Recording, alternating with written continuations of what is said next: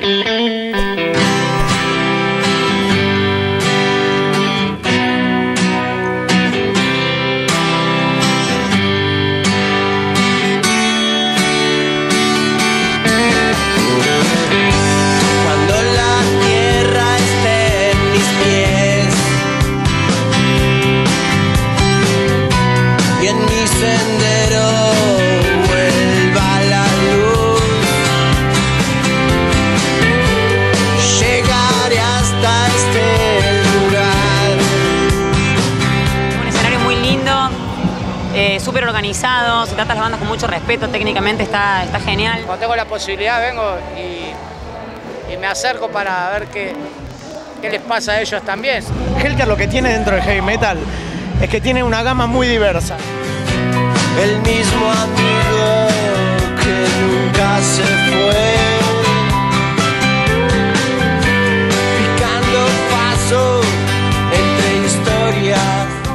las canciones del disco nuevo, muchos clásicos también, porque viajó mucha gente a Rosario. Es nuestra tercera vez acá en Rock en Varadero, Felices de que nos hayan invitado de vuelta. el festival de- del verano. Y yo